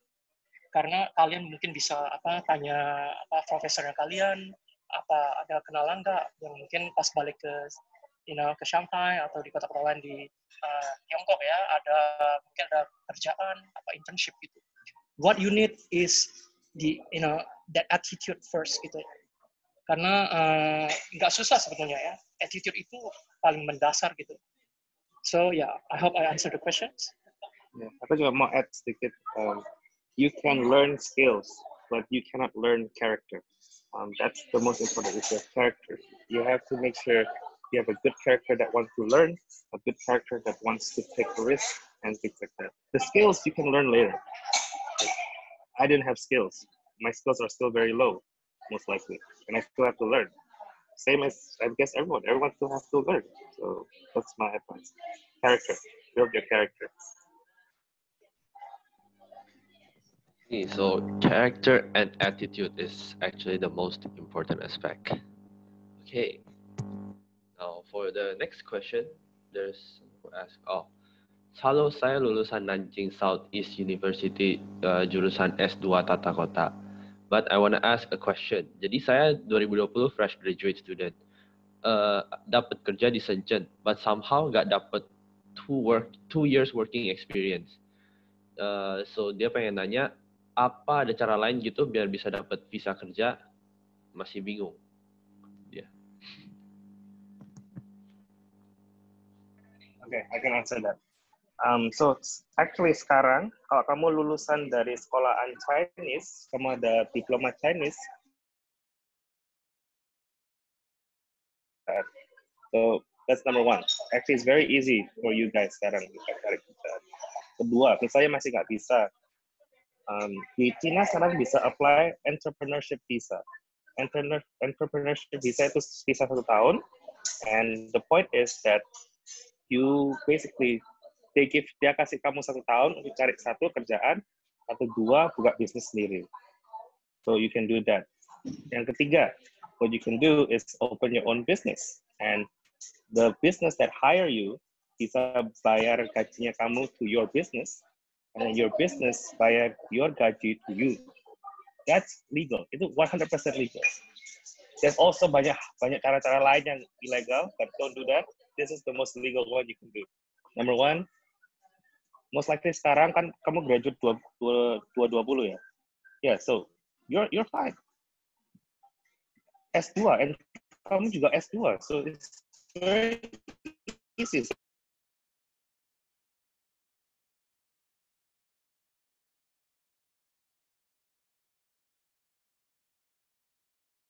Three, you can open your own business and make the company hire you. That's your three options. Uh, siapa uh, Hayung ya. Jadi kalau masalah S2 itu ya uh, S2 kan sudah termasuk uh, apalagi kalau arsitektur ya, hmm. tata kota gitu ya. Itu sudah termasuk teknikal ya. Jadi kalau teknikal biasanya pasti bakal ditanya portfolio apa ada pengalaman magang misalnya ya, apa pembuatan tata rencana apa, apa gambaran apa gitu di situ. Satu ya, ini juga berhubung dengan yang teknikal lainnya, di IT atau program digital marketing, etc. Di sini ingat satu ya, portfolio itu penting banget. Jadi yang kalian namanya programming apa-apa gitu pasti ada portfolio ya. Walaupun misalnya itu cuma membantu, you know, for example, uh, developers gitu ya.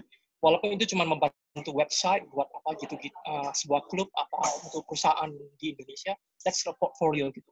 Jadi tunjukkan bahwa kalian itu ada skills dan juga komunikasi skill kalian lancar gitu. Itu aja sih. Jadi tata kota ataupun programming ataupun uh, misalnya uh, engineering ya gitu ya pasti ada portfolio. Jadi tunjukkan itu. Dan untuk yang lainnya ya don't forget communication skills still matter. I see. So actually, there are so many ways that you can get a job and get that working visa in Shanghai. I see, I see. Yes, right. there are a lot, a lot of ways, but remember what do you want? Like uh, Anastasia mentioned, what do you want to do? What do you like? And then hustle, network your way. Don't wait until you want to graduate because the moment you want to graduate, right, it's too late. You can kiss goodbye your Shanghai dream or China dream. no, not really that bad, but you know, it's too late, I would say. And yeah, it's easy as that. But again, try your best. It's not too late for anything, even here. Mm-hmm. I see, I see. So, okay, let's move on to the next question. For Daniela, I think uh, the question was kind of similar to the previous one. So, we'll, I hope that answers also your question. Uh, from Amel, would like to know what trends or business opportunities you will see in the next few years in China. Uh, maybe for William can answer or the business analyst, yes. Okay, uh, okay, I can start with that actually, and then uh, I'm sure Andres can, you know, uh, add more. Jadi uh, business trends atau apa business opportunities ya. Uh, Oke, okay. yang pasti teknologi itu di sini fatal banget, sini baju banget. Jadi anything to do with 5G or anything to do with AI. Ingat, AI itu adalah sebuah apa payung ya. Jadi di bawahnya itu masih banyak subjek lainnya. Jadi uh, seperti machine learning ataupun NLP, etc. Itu pasti ada gunanya ya. Jadi itu tren ke depannya.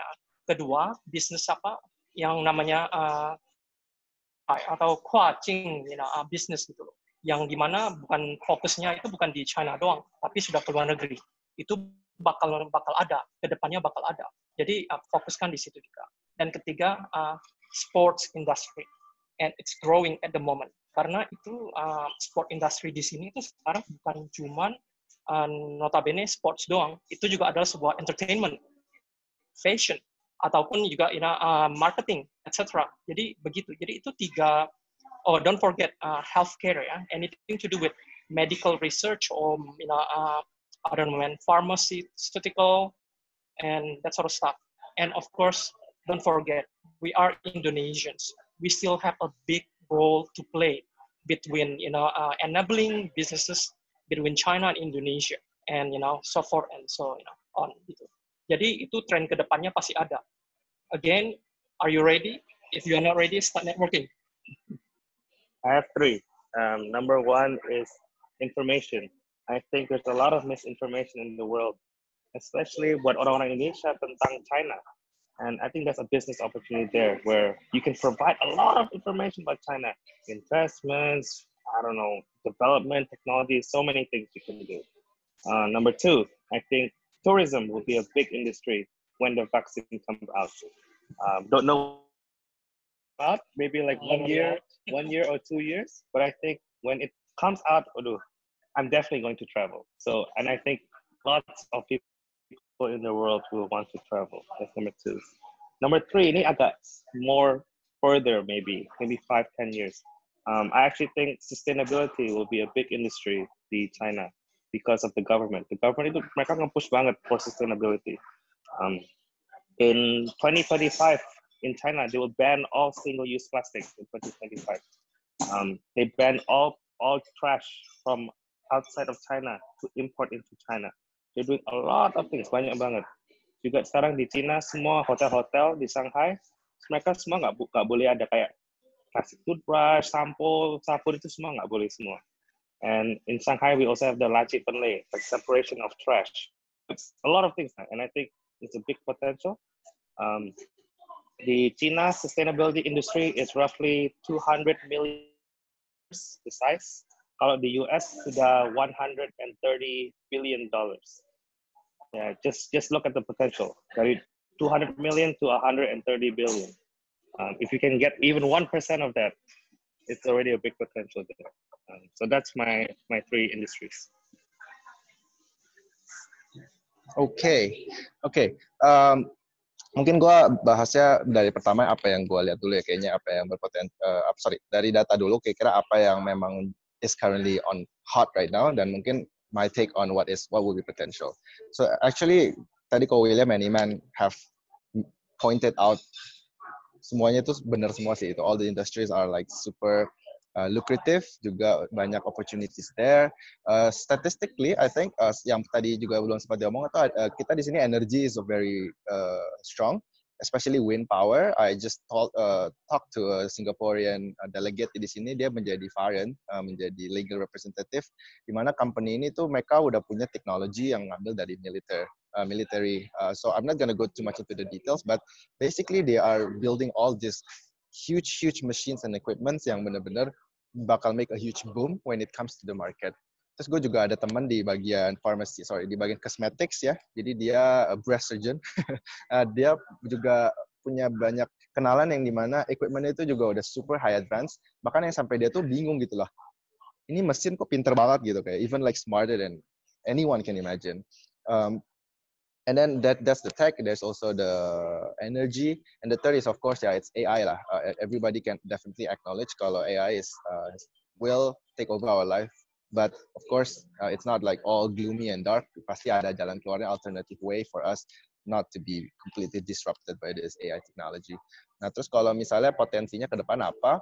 All those yang tadi udah dibilang benar, tapi satu juga uh, I want to add is uh, the health and wellness industry sih menurut gua. Karena we have people here yang they're very productive, but they are mentally exhausted. The, the fact that kita di awal tahun bahkan punya meme, like literally namanya Cho Cho Leo, ICU. So what it means adalah lo kerja dari jam 9 sorry, lo kerja tuh setiap hari dari jam 9 sampai jam 6 selama 6 hari. Sorry, dari jam 9 sampai jam 9 selama 6 hari dan ujung-ujungnya lo masuk ICU.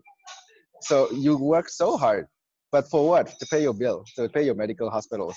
Mungkin yang jadi keluarga lo akan happy karena probably you have a lot of money kan. So I just uh, uh, gue punya teman juga yang salah satu actually he's my ex boss waktu itu gue intern di Suco yang dia adalah sebuah perusahaan uh, employee promotion welfare uh, that kind of thing di mana basically dia memakai MBTI untuk supaya menem, uh, ya memacu lah semua employee untuk bisa kerja lebih efisien, kerja lebih baik. Dan gue lihat dia selama the past four years, his growth has just been exponential. Enam tahun pertama mungkin zaman dulu ya, orang Cina tuh nggak ada yang peduli gitu kan. Ginian kayak yang penting, oh, gue punya uh, employees masih kerja-kerja aja, they still make me money. But in the last four years, there's just a growing need for people mungkin kayak kalau ada yang tahu Maslow hierarchy gitu ya, kita semakin orang-orang di Cina itu semakin lama semakin sophisticated that they are now seeking for fulfillment in life. Gitu. Jadi gue uh, kemarin pun I join a startup weekend, banyak orang-orang ngasih idea itu udah mulai tentang health and wellness. This might be a new stuff that you can dig in gitu kan, try to be different gitu. Di sini, oke okay, mungkin gue Iman dan Anastasia and Ko William pointed out a lot of different industries, but you can also come up with your own gitu. You can partner up with a local di sini, try to find your own stream gitu kan. Kadang-kadang anti mainstream is good, right? so ya yeah, mungkin Anas lo ada gimana? Ada ini point of view? Eh, kalau salah saya mungkin tambahannya karena saya bergerak di education, jadi sebenarnya di China itu next orang tua mereka itu berani kasih anak berani mengeluarkan berapa duit pun untuk anak-anak. Jadi mungkin uh, teman-teman bisa bergerak di education. Education itu maksudnya gimana ya? Teacher. Hanya ngajar anak-anaknya. Bahkan sekarang kalau kita hitung-hitung ya, di China bisa dibilang untuk uang les itu paling tinggi di China. Aku uh, di musik saya bisa jamin. Karena aku udah bandingin sama Singapura, Malaysia, Eropa, semua, Australia, dan di China itu kalau namanya edukasi buat anak-anak udah deh. Uh, nenek kakek semua kasih ke cucunya semua. Papa mama semua. Jadi mungkin next nah ini bisa education untuk anak kecil makanya kenapa di China sekarang lagi kembangin cinzi jadi kayak ada restoran khusus anak papa mama. Ntar kegiatan khusus papa mama sama anak. Kenapa? Karena papa mama mereka kan dari Senin sampai Jumat kerja. Jadi mereka nggak ada waktu buat anak kecil. Nah, itu. Jadi ada pebisnis yang membuka kayak restoran atau tempat main yang khusus buat orang tua dan anak-anak. Dan ini beneran lumayan mahal sih kalau menurut saya. Nah, mungkin ini juga bisa jadi big opportunity untuk next beberapa tahun. Dan sekarang udah kita kerasa sih. Jadi anak kecil mereka itu kayak uh, uang sekolah saja sekarang kira-kira ya untuk anak kecil jawaban itu kayak umur tiga, umur tiga, umur empat, mereka satu bulan uang sekolah mereka 8.000 RMB satu bulan. Jadi anak kecilnya mereka taruh di bisa main, nyanyi, ya begitu. Tapi 8.000 RMB kalau di eh, rupiah kan udah 16-17 juta. Jadi education. Mungkin aku tambahannya education sih. Oke? okay? Okay, wow. Look at all those fields that you guys can can blend into and also like uh, Gerald, said. Yeah. Yeah, I'm just gonna add something. Jadi oh, apa sure, yang di depan sure. itu sudah dibi dibilang ya uh, beberapa tren yang akan datang atau happening right now. Ada beberapa industri yang mungkin uh, can avoid gitu lah. Kalian bisa avoid ya. Pertama otomotif ya. Kedua uh, industri yang apa namanya logistik gitu loh. Karena dua industri ini sudah pasti apa um, kalian nggak bakal ada kesempatan karena mereka lagi you lagi downturn sekarang besar banget gitu. apalagi namanya otomotif in the past few years gitu. Terus yang paling terakhir itu banking. Banking itu di sini ya karena sekarang financial apa global financial crisis ya. Jadi sementara kalau mau banking, apa mau otomotif, apa mau misalnya uh, yang apa yang procurement logistik ya mungkin di Indonesia mungkin lebih besar ya. Tapi di China saat ini kesempatan sudah kecil banget. Ya, yeah, that's all. Not only the trends, but also the businesses that you should avoid. Amazing, amazing. Now, all right, let's continue with the question. We have a limited time. Uh, some uh, name Ivana asked, I would like to ask you, what is the hardest struggle while starting a business in China, since China is already a developed country? Yes. The hardest struggle. Uh, a lot. There's a lot of struggles. um, starting a business is not for everyone um, because you have to be able to think on your feet. Um, I think the hardest one would definitely be penetrating the Chinese market as a foreigner. Um, because again, even if you understand the culture, but I'm also Ini Huaran, I'm technically Chinese too. The culture is already very different. Language, my koin, my accent kan beda semua. So it's very difficult to really, really, really understand the Chinese market. And that's when you need to understand you as a person are is not you are not a perfect person. You need to work with people that are smarter than you. Um, especially if you're young. Uh, you're so young, it's okay to not know everything. Listen, even if you have your own business, listen to your employees. You hire employees not for you to tell them what to do, it's more of for them to tell you what to do because they're more experienced. They know what they're doing. So listen, listen, listen. Um, also, one thing I found really hard was actually putting down my ego. I was a very egoistic person, I think, like a few years ago. Uh, putting down your ego is very hard as a business, uh, as a business owner. Sometimes you think, oh, I know everything. I can do everything by myself. I'm the smartest in the room. But in reality, you're actually not the smartest person in the world. So put down your ego. Number one is very hard. Um, number two is find good people that trust you, not only that are good at what they do, but they're also passionate about what you do. Um, because finding passion is the hardest. So kita kan barusan hire a lot of people in the company. Um, I don't really look kayak kamu graduate dari mana, berapa tahun sudah, sudah berapa kerja. I look more of where is your passion? Do you have a passion that's same as me that we can fight together towards the vision? Um, that's for me. That's one of the difficult things. Um, law, taxes, that's itu memang sulit banget, but you can hire a company to solve all those problems for you. Um, so yeah. Yeah, uh, I can actually add to it. I think uh, number one, doing business here, uh, Emmanuel has already mentioned quite a few.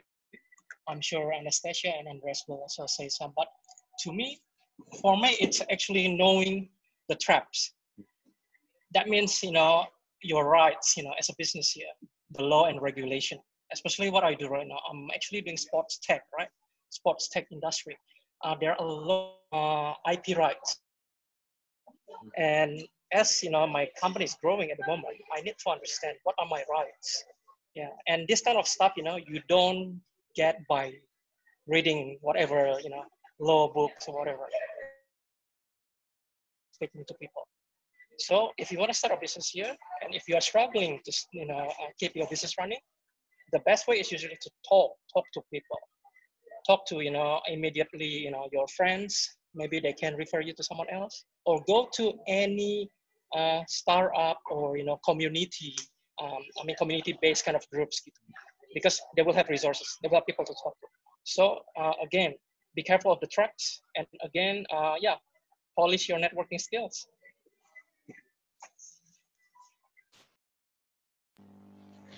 Okay, does anyone want to add any to the to the question? So. Nope, nope, nope. Okay, all right. Uh, since our limited time, this is the last question of the day. Uh, she's Michelle. Any tips for economic students on applying jobs since econ students don't have any portfolio to show? Okay. I was uh, I was an econ. Okay, yo, you. Oh, you can go first, yeah I do, I do go first. Okay, okay. Balik lagi ini sih kayak gue sendiri pun anak linguistik. What can you expect from a linguistic student? Ini imagine you're like a CEO of a trading and commerce industry Terus ada orang bilang, gue cuma pernah belajar Inggris. Do you have any technical skills? Do you have any what negotiation 101? We never have this thing. Tapi it's just about how you can present yourself sih. Pinter-pinteran lu cari di mana kira-kira lu bisa bantu gitu the company. So mungkin ya eh, it's just like a uh, apa ya ngomongnya. Ini seperti kayak general interview tips. Sebelum kita misalnya datang gitu ke interview ya kita coba ta- cari tahu dulu gitu the company what kind of problem yang kita bisa bantu solve gitu. Menurut gue sih in the end if you can prove that you can solve people's problem they don't really care what educational background. They only care about what results can you give to them.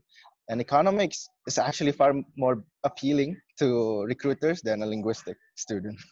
I think so. So you have a higher chance to get a job here.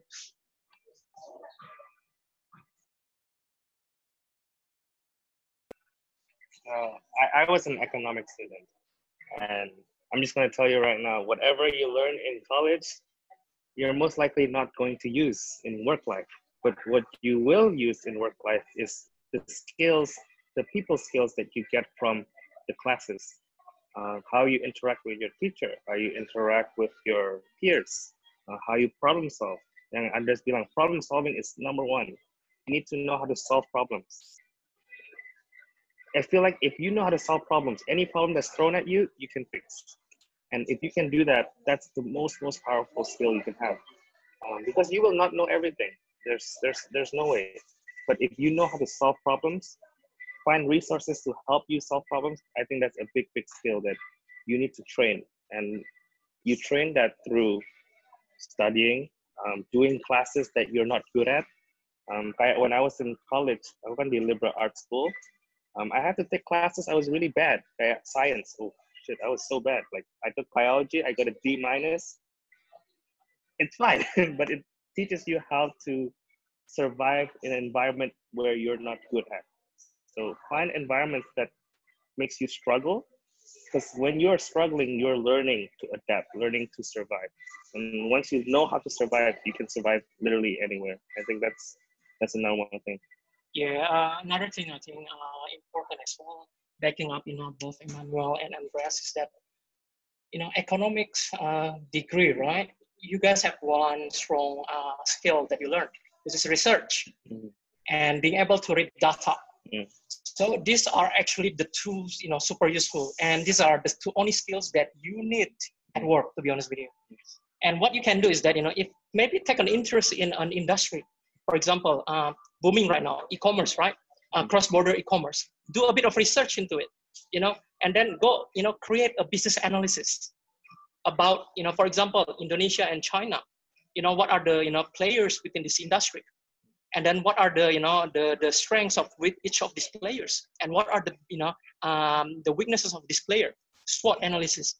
And then use this kind of stuff approach a potential you know a person or company that you want to work for and then this is how you open the doors. So again there is no such thing called fixed you know skills. Emmanuel mentioned before skills can be learned. Characteristics is something you have to temper on your own. And again networking skill is important. So chill guys. Focus on networking focus on finding what you want but don't forget you know don't do it too late. So that's from my end. I'm not sure if Anastasia has anything else to add. Ada, ada. Jadi mungkin eh, kalau saya kasih tambah ekonomi udah mantep banget. Saya ini musik loh, di gimana lagi ya kan? Satu mungkin eh, perusahaan China itu kita banyak kasih portfolio itu oke, atau kita nggak dapat portfolio, tapi yang paling penting itu di mana saat anda diterima. Itu pada saat anda interview. Karena di saat interview mereka bukan oh, skill kayak Immanuel bilang bisa kita pelajari. Tapi kalau misal saat kita interview yang dilihat apa? Kepribadian kita, IQ kita, cara kita ngomong, cara kita bisa menghadapi masalah dan kan dari ngobrol mungkin mereka lebih enak gitu. Dan satu lagi kreatif. Jadi uh, bukan bilang orang China itu nggak kreatif ya. Jadi uh, improvisasi kita uh, sorry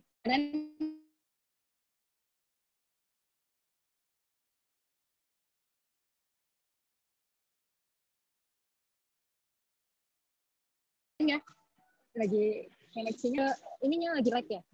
Oh, mungkin tipsnya kurang kalau kita bisa tampilkan kreatif kita mereka bakal lebih seneng. Contohnya misalnya kita bisa uh, ini barang nih atau sesuatu ide yang mereka nggak kepikiran. Kalau sempat kita plek kasih wah interviewnya udah deh langsung tanda tangan langsung terima kerjaan jadi mungkin uh, eh, IQ kita dan kita Indonesia itu menangnya di rahmah ramah kita. Kita ngomong, kita senyum itu orang China mungkin kurang. Nah, kita ada. Nah, yang lain kreatif. Jadi kita harus uh, melak mm, bisa memikirkan sesuatu ide yang mereka nggak bisa pikirin. Itu aja sih tambahan dari saya. Sorry, can I just add one last point? Uh, so these all points sebenarnya mengacu ke satu topik sih. Maksudnya ke satu idea, the fact that it just calls so much need for you guys, for us, tentunya buat, buat gua, Iman, dan Anastasia juga untuk to continue self-develop ourselves gitu. Mungkin banyak dari kita kan yang, oke okay, gue punya bachelor di sini, tapi gue pengen coba loncat industri. First, of course, you need to have the humility untuk balik lagi ke bawah. Mungkin di industri lu, lu udah jago, tapi again, from the people yang udah lebih sini dari lu. Dan yang kedua adalah ya constantly develop your soft skills sih menurut gue. Karena banyak dari people, uh, young people like us, kita kan biasanya nggak gitu tahu ya kita mau jadi apa. Even I personally don't know what to do sampai sekarang. Tapi if you continue untuk mengasah kemampuan soft skills lo, that will bring you miles ketika once you figure out what you want to do in life. Karena soft skills are universally applicable di setiap macam kerjaan. For example, practice your public speaking. Tadi kau William nggak tahu, udah lebih dari 10 kali ngomong tentang networking. Terus ada juga mungkin the ability to learn. Karena for for one thing, other than problem solving, every company will always find um, adaptability a very essential um, aspect that they can find from a candidate misalnya lu orang economy terus lu mau kerja di design oke okay, let's try. Tapi ternyata lu di design lu juga bisa maneuver. Karena more often than not mungkin title lu akan menjadi sebuah economist tapi nyatanya lu akan kerja semuanya macam-macam. It's just the hard truth. Apalagi soal Emmanuel mungkin dia uh, lulusan ekonomi tapi sekarang dia sebagai one of the main executor of his company ya dia harus kerjain semuanya. Design juga harus kerjain advertising juga gitu. So that's why kalau kita very highly adaptable to our circumstances then kita tuh takut apa gitu untuk mencoba other jobs. So I guess that's that. I see. Okay, very interesting. Now uh, that closes our Q&A session. Now, uh, speakers, we would like to ask for your final remarks for our audience today. Maybe something inspiring, something motivating, something that encourages the audience. So we can start with Emmanuel, maybe. Let me think. Something inspiring. Doesn't have to be inspiring. I guess is I know. I guess what really inspired me was I like taking risks, and I like putting myself in situations when I'm not comfortable. Um, just reflect back on your own life right now, like in the past few in the past few weeks or months. Are you comfortable? If you're comfortable, that means you're doing something wrong. You don't have to be extremely uncomfortable, but just make yourself a little bit uncomfortable. It could even be as simple as start reading a book. Um, it could be as simple as that. And always look to learn, be humble, learn, learn, learn, learn. There's no stopping learning. I think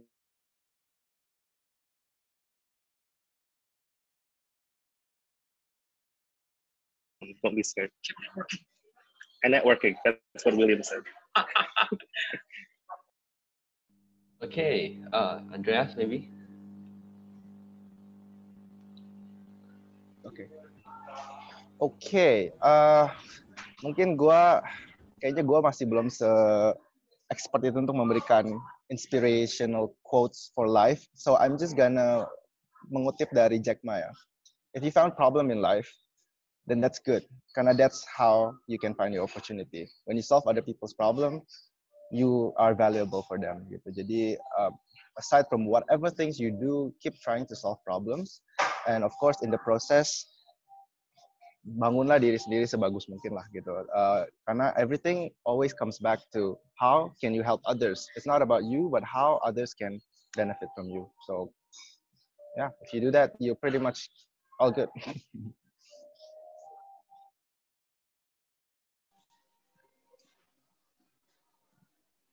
Okay, maybe from Anastasia.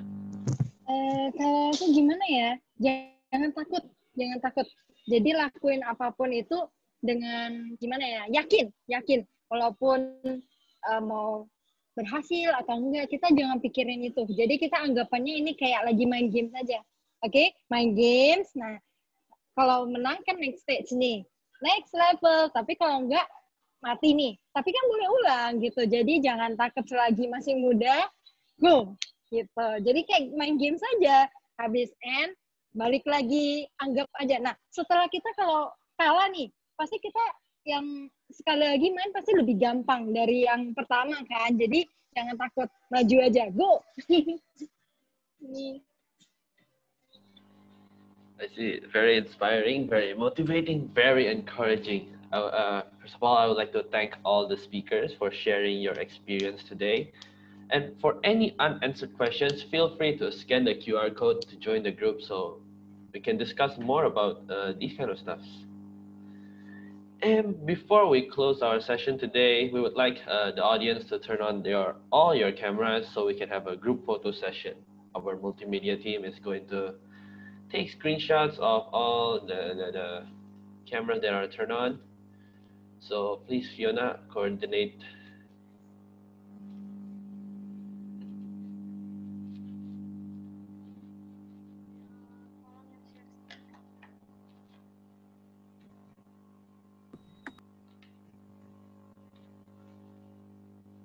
Okay, everybody smile.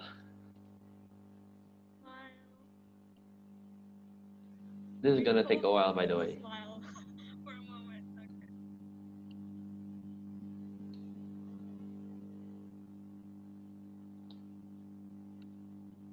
All right, it's done.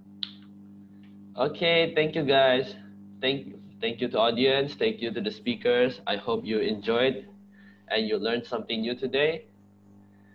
Wish you all the best of luck. Bye bye. One last thing.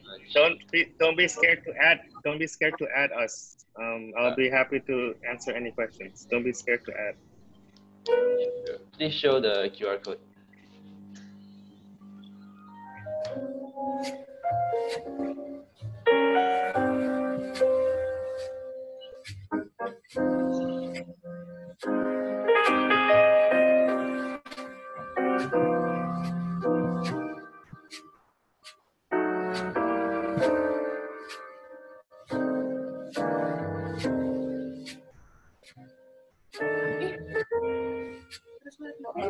Thank you.